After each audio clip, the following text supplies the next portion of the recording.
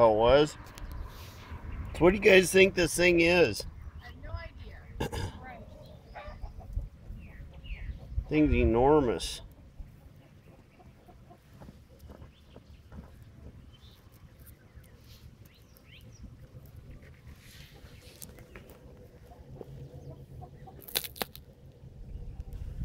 What is it?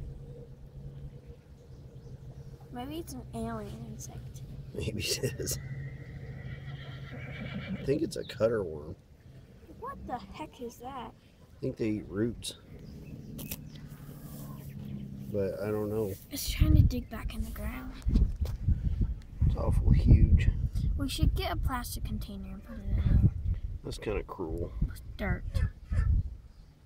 Not it. Not if it's there's dirt and stuff in it. Yeah. Well, We should just see what it food. does. But what So- if it eats dirt?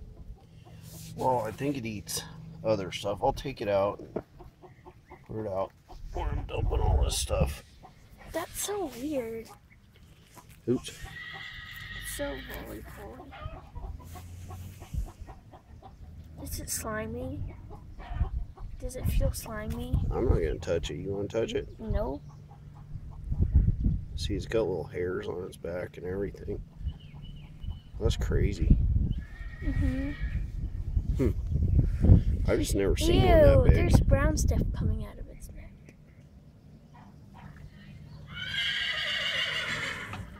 I think it was in that buried tree that was there. Well, it like feels like soft. Yeah.